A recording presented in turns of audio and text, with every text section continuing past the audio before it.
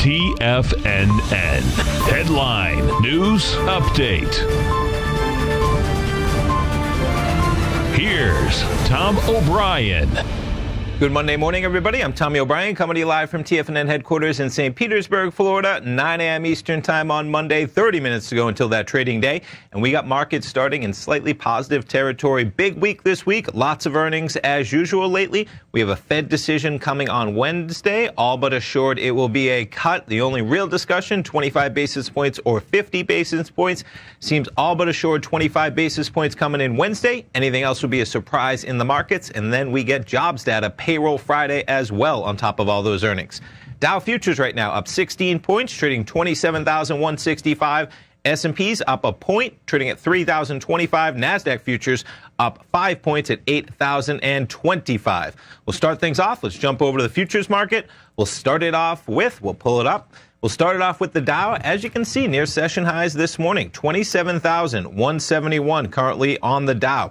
We were marginally higher about an hour ago. You're talking about only 10 Dow points as we start off the trading week. S&P 500, pretty similar territory. You back things up. The highs of Friday, about 3,029. This morning, we're trading at about 3,025 with 30 minutes to go until the opening bell. NASDAQ 100 trading at 8,029.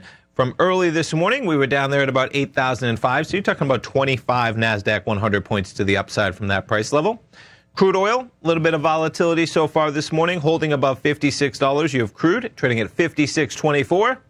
Gold contract, a little bit of volatility as well. Last night, you had gold at 14.23 at like at about 9 p.m. Eastern time. Gold trades all the way down to 14.17, currently trading 14.19.84. Looking at the August contract, and the euro U.S. dollar backing off a bit, 111.21. In terms of what else you have happening, I mentioned it at the top. The Fed is about to cut rates for the first time since 2008. Pretty remarkable. 11 years that the Fed has not cut, and that is all but assured to be happening Wednesday. Would be a shock to the market. Anything besides a cut, as I mentioned, the only real discussion 25 or 50 basis points.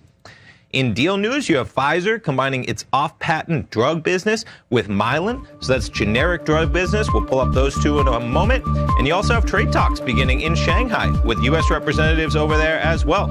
And to pull up Pfizer and, My- and Mylan, Pfizer backing off on that news to 41.55, closed at 43.09. And Mylan, MYL, trading higher, but off the highs as well. Stay tuned, folks. We got a replay right now at 9. I'll be back at 10 o'clock live with Tom. Have a great Monday.